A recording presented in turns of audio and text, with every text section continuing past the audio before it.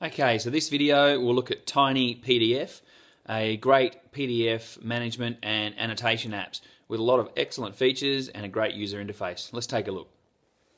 When you first open Tiny PDF, there is the user's guide, um, but basically you need to start getting some PDFs into the app. So the easiest way is click on the network tab and you connect up your Dropbox, Google Drive, your box, or you can use a Wi-Fi drive so you can go across to your computer's web browser, enter the address shown above, and then download your PDF file. Um, but for now, I'll go and join Dropbox account. So if you have Dropbox already on your iPad, um, it detects it. You just click allow and it sends you through to your Dropbox files. And basically, you go and choose a PDF and it downloads that for you. Okay, so I've got a document there, um, how to study for a test. Um, there's a few things we can do with that document. First, let's go and look at it, and this takes you to the reading mode. So you just scroll up and down on the document and drag the finger left or right to move through the document. It gives you the page number down the very bottom, so look along the bottom there, there's a 1 in red, and it's basically only a two page document, shows you that you're on the second page. Alright, what can we do? So, we can do a whole lot of the regular editing tabs. So the pencil icon on the right hand side, it's a freehand draw and you can change the color, um, you can change the opacity, you can choose the size of the line, um, you can undo and when you're happy with your edits, click on the tick. The next tab gives you a text insert box, so you tap where you want to insert your text and then you can just enter as you type and it gives you those few, few options for font type, uh, regular italics bold, um, pen color, size of the text, you can clear it or click done when you're finished. The third one down, um, we can put in some various shapes, so you can put in arrows, lines, circles, etc. The next one is a highlight button, so you can highlight pieces of text. Uh, so that's pretty useful. Then we have strikeout button, so you can strike out various parts of your PDF. Likewise, there's an underline button, very simple to use. I like how easy these things are to use. The next icon down is the pop-up notes icon, so you can add some notes. And when you're finished, click on the tick, and it has your note there. If you want to see what was on your note, you can tap on it and if you grab the yellow bars in the bottom right hand corner of the note you can actually drag it and move it around the document or you can uh, delete the note by clicking on the cross. If you want to edit the note just tap in the middle of it and add some more.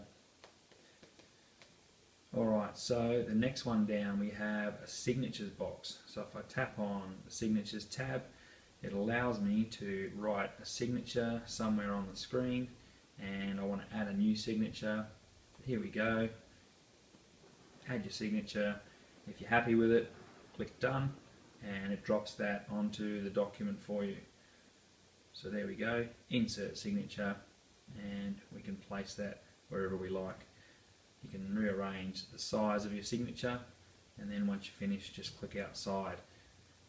Now that I want to add a signature I've already got an existing one so I can drop in my signature again and again or you can put in another different signature, change the colour, you can change the thickness. Um, maybe I want to be someone else for today. There we go. So now, as I tap on the screen, I can insert that signature. Alright, so that's great. You can store a few different signatures there if different people access the iPad. Um, gives you a few options.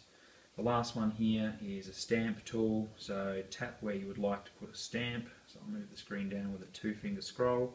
If I tap here, um, you've got some default stamp types. So I might just put a sign here tab, move it around, adjust the size. And I could also, instead, you can actually do custom stamps. So you can add various things. You can add stamps from your photo roll. So maybe I wanted to add a picture of a penguin looking through a um, magnifying glass. It's actually from a different app. But um, there you go, you can put in your own customized stamps. There is one other way to put in the various annotations. If you click and hold on a blank part of your PDF, you can add in a text, a note, a signature or a stamp directly from there. So that's a pretty useful way instead of having to use your menu. For any of your annotations, you can basically click and hold on them and you can rearrange them and move them as you would. Uh, likewise with that one, move or clear. And similarly with the other annotations we did previously, tap on the highlighting, you can change the colour of it, um, you can add a note, there's a few other colour options there as well, and you can clear the annotations. So some really simple, easy to use settings there for annotating your um, work.